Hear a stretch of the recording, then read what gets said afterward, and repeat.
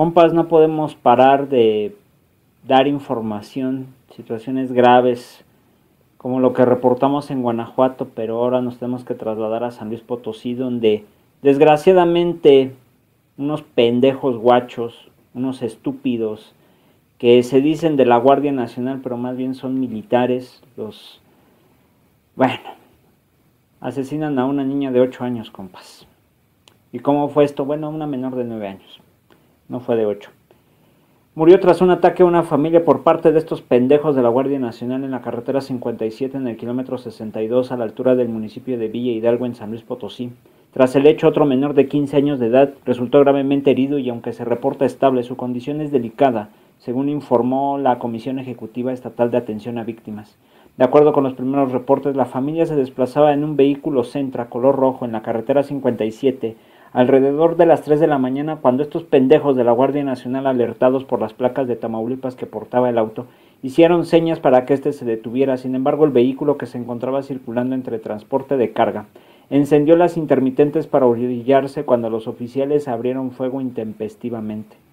El saldo fue una niña de 9 años muerta en el lugar y un menor de 15 años gravemente herido y que recibe atención médica en el Hospital Ignacio Morones Prieto de la ciudad de San Luis. En el automóvil viajaban la madre del menor, el papá y el joven que es conocido de la familia que reside en la capital potosina. Tras los hechos, este comisionado de atención a víctimas en el estado, Miguel Ángel García, informó que la familia ya recibe el acompañamiento multidisciplinario a través de una unidad de primer contacto y atención inmediata en asesoría jurídica, psicológica y trabajo social, con medidas para el acompañamiento y contención psicológica, así como se da el acompañamiento jurídico para la entrega del cuerpo de la menor. El comisionado agregó que se garantizará el acceso de fondos de ayuda, asistencia y reparación integral a las víctimas. La Fiscalía General del Estado, por su parte, confirmó el hecho y comunicó que se abrió una carpeta de investigación para deslindar o atribuir responsabilidades, aunque se prevé que la Fiscalía de la República será quien atraiga el caso en el que serán señalados los elementos de la Guardia Nacional y la unidad en la que ellos viajaban. La fiscalía investigará la muerte de esta menor, de la menor, perdón, perdón por decir esta, es que me da corta coraje y se me salen algunas palabras. Una disculpa, este, como les vuelvo a repetir, investigará lo sucedido a la menor de nueve años que se registró este sábado en Villa Hidalgo.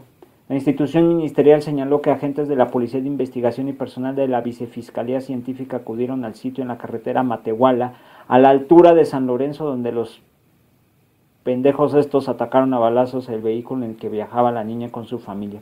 Asimismo afirmó que peritos trasladaron el cuerpo de la menor al servicio médico legal, donde realizarán la necropsia de ley. De verdad lamentamos muchísimo y nos da un pinche coraje, compas, porque estos pendejos no, eh, no están protegiendo a la ciudadanía, porque al rato van a salir a defender y me da coraje, porque si yo tuviera, bueno, Mejor así lo vamos a dejar, compas. Me voy a calmar porque no, no, no quiero darles pie a estos desgraciados porque son unos monstruos también.